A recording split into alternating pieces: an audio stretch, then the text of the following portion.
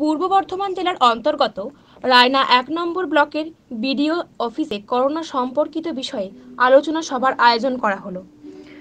রায়নার নবনির্বাচিত বিধায়ক শম্পা ধারার উপস্থিতিতে আজকের এই আলোচনা সভা। ইতিমধ্যে রায়না এক নম্বর ব্লকে করোনা আক্রান্ত হয়ে মারা গিয়েছেন চারজন।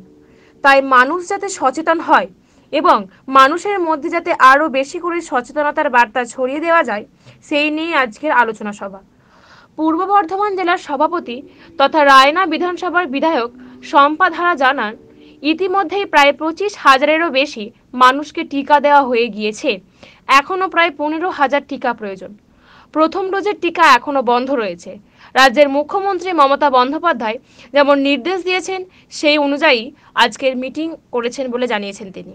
আজকে আমাদের মানে রায়না ওয়ান ব্লকের আজকে আমরা বিডিও সাহেবের চেম্বারে, আমাদের বিডিও সাহেব, আমাদের পঞ্চায়েত সমিতির সভাপতি পশি আমাদের হেলথের, আমাদের হচ্ছে বিমএইচ, সকলে মিলে আজকে প্রধান ম্যাডাম নিয়ে সকলে মিলে আজকে মিটিং করলাম।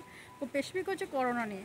আমাদের কাছে এখন হচ্ছে মেন শত্রু হচ্ছে করোনা। করোনার সাথে সাধারণ মানুষ যে মোকাবেলা করছে। সাধারণ মানুষ ইতিমধ্যে আমাদের রায়নার ওয়ানের ক্ষেত্রে ইতিমধ্যে চারজন মারা গেছেন করোনায় পজিটিভ হয়ে। তার মানে যাতে মানুষকে সচেতন করার জন্য যদি কারোর সিমটম যদি থাকে, দেখা যাচ্ছে সিমটম আছে, ভয় হয়তো বাড়ির মধ্যে থেকে যাচ্ছে। সিমটম দেখা মাত্র যাতে তাড়াতাড়ি তারা যারা আমাদের স্বাস্থ্য কেন্দ্রে যাতে যায়। ও এবং সেই ক্ষেত্রে প্রচারটা, আমাদের মাইকিংটা যদিও চলছে আরও বেশি করে মাইকিংটাও বাড়াতে হবে। এই নিয়ে আলোচনা করলাম এবং মানুষকে সচেতন করা হলো, মাস্ক স্যানিটাইজার অযথা বাড়ির যাতে না বাইরে বেরোয়। এবং প্রত্যেককে যেটা ইয়ে করতে হবে যে আমাদের ইতিমধ্যে আমাদের রায়না এক নম্বরের ক্ষেত্রে আমাদের পঁচিশ হাজার সাতশো সামথিং আমাদের মানে টিকা পেয়েছে। এবং আমাদের ইতিমধ্যে এখনও টিকা দরকার দরকার আছে। এখনও প্রায় পনেরো হাজার মতো টিকা প্রয়োজন আছে।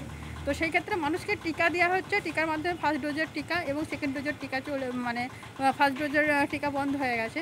এবং আমাদের বেড সংখ্যা নিয়ে আমাদের সমস্ত কিছু করোনা নিয়ে আমাদের কিন্তু আজকে আলোচনা করা হলো। মানুষকে মানে মানুষের সুবিধার্থে আমাদের মাননীয় মুখ্যমন্ত্রী যে নির্দেশ দিয়েছেন, সেই নির্দেশ মোতাবেকই আজকে আমরা মিটিংটা করছি স্বাস্থ্যকেন্দ্রে টিকা পাওয়া যাচ্ছে না, এই ব্যাপারে কি বলবেন?